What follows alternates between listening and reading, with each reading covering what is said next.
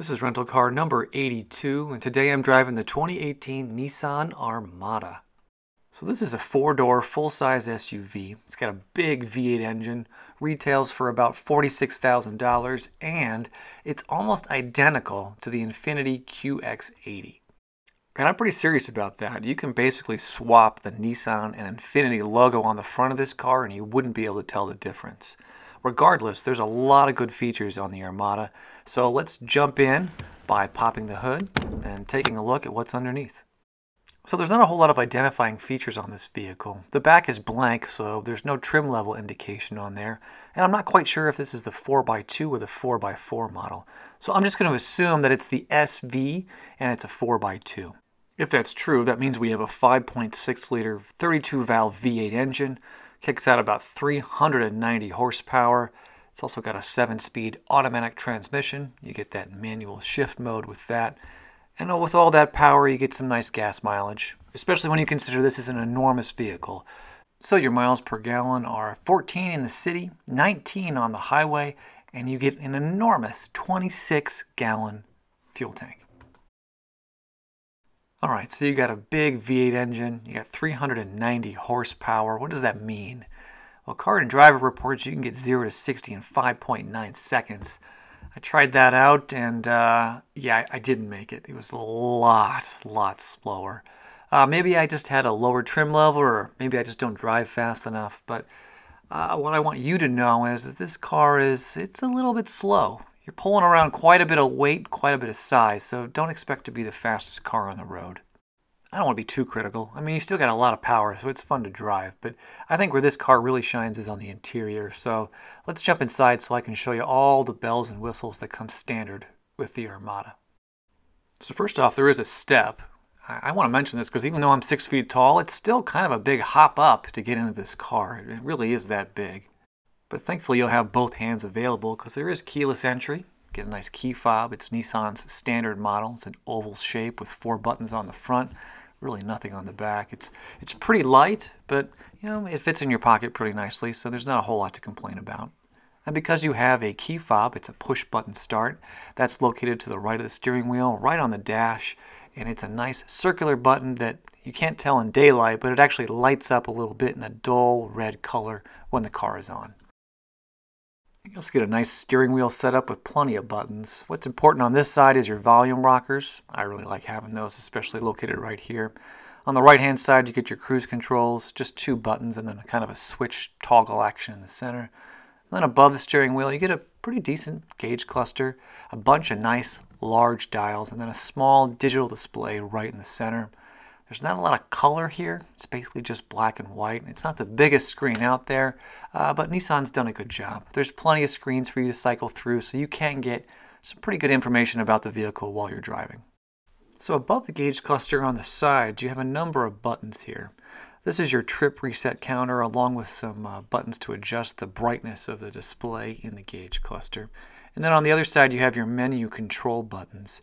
I found these to be a little bit difficult to reach. I think maybe the idea is they don't want you cycling through all the menu features while you're driving, but it is kind of a pain in the butt to have to reach to this location if you want to change something while you're on the go. And then to the left of the steering wheel, you're going to get all your standard buttons here. Window controls, door locks, mirror controls, and then up on the dash you have controls to uh, open and close uh, the hatch. And I'm not sure if you noticed, but down below you also have a push pedal parking brake. All right, and then going from floor to ceiling, up here you have two bright lights to illuminate the cabin, a pretty big sunglass holder, your standard rear view mirror. It does have your uh, garage door openers built into the mirror itself, garage door opener controls, I should say. And then up top, you have an SOS button. And then on the sides of the vehicle, you have your side view mirrors. Nice big size, no blindside detection here, but even though this is a pretty large vehicle, I really didn't feel like I needed it. All right, I feel like I've been jumping around a lot, so let's go in a much more logical order. Let's start off with the touchscreen. It's a nice big size, really nice bright colors, really easy to see. Nissan does a great job with these screens so you won't be disappointed. It's not the most high tech, so you don't have Android Auto or Apple CarPlay on this, but there's plenty of apps and things to play around with. And most importantly, I found that I could connect my cell phone to the vehicle via Bluetooth within a matter of seconds, and that's a, a big plus for me. I also like that directly below the screen there are a bunch of dedicated buttons. This is a big deal because sometimes navigating those menus in the touchscreen is just too much work. It's nice to have a button you can press and just quickly jump to exactly what you want. Then below those controls you have a bunch more controls, right? You got your volume controls here, the uh, tuner for the radio, some buttons to control the CD player, and then below there you have your climate controls. All this works great. I had no trouble with it. I just think it could be organized a little bit better. It is kind of hard to find what you're looking for, especially when you're brand new to the vehicle. And then all the way at the bottom of the center console, you have some more buttons to control your heated seats. There's two USB ports and then also a, uh, a power port right here in the form of a cigarette lighter, so you will need an adapter. And then behind that area, you have your gear shift. This works great. No complaints here. And then behind there, there's some controls to uh, turn on and off traction control, adjust the car for snow or tow mode. And then you get this big thing in the center, right? This big dial looking thing, but actually it doesn't do anything. It's just for show. So that's disappointing. But what's not disappointing is this little storage area right here. It's perfect for a cell phone. That's where I kept mine. There's also a bunch of other storage spaces. You get this square cutout right here two nice sized cup holders. And then I like this area, actually both areas, because they have lids that close it out and uh, can hide all the messiness that you leave behind. Speaking of messiness, there is a nice big storage space underneath the center armrest so you can hide all your garbage and crap down in here.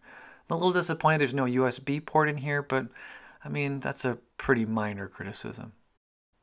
And then you got your glove box. Uh, nothing special here, but it's a nice big storage area that I'm sure you'll find uh, some uses for.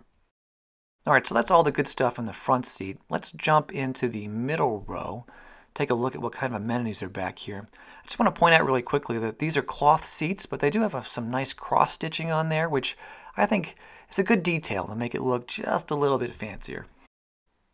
So legroom back here is great. I'm six feet tall. I got plenty of room. No complaints at all. There's also dedicated climate controls and USB ports on the back of the center armrest for the front seat passengers. You can see the climate controls up on the top and then the USB ports are behind these little rubber pieces right here towards the floor. And speaking of the floor, there's also a power port all the way down here, almost at the floor level. Uh, you will need an adapter, but it's, it's a nice feature to have for your passengers. Another thing I liked is there's actually vents all the way down here at the floor underneath the front seats. And there's also vents up above the windows. So I'm assuming your passengers will be able to regulate the temperature pretty well back here. And there's also a center armrest that folds out of the middle seat. And there's two cup holders hidden away right here in this small storage area. The center row seats also collapse forward. You just have to pull up on this small plastic piece and the seat folds away all by itself.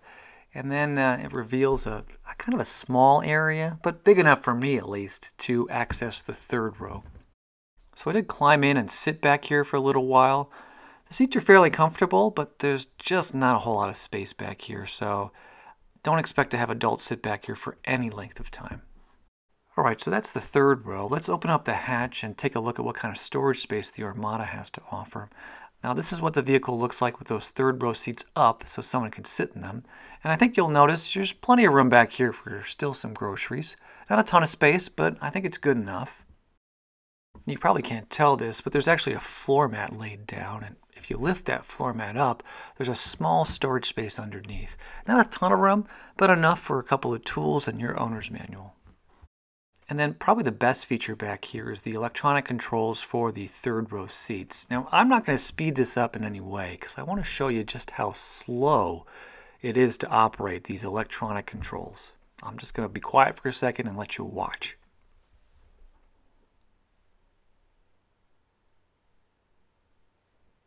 Like for real, this is just way too slow for me. I kind of wish the Armada just had you know, manual controls, just a little switch you can pull to let those things fall forward. But they don't. So, good or bad, this is what you get.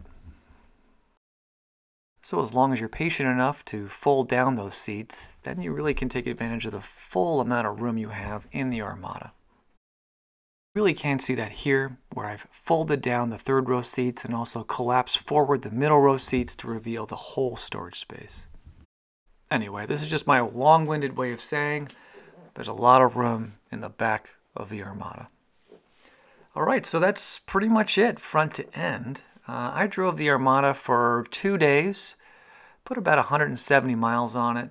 Uh, I think I got a good amount of time in this vehicle where I can sort of give you a recommendation. And that's really what you should be asking me, right? Would I recommend this vehicle to you?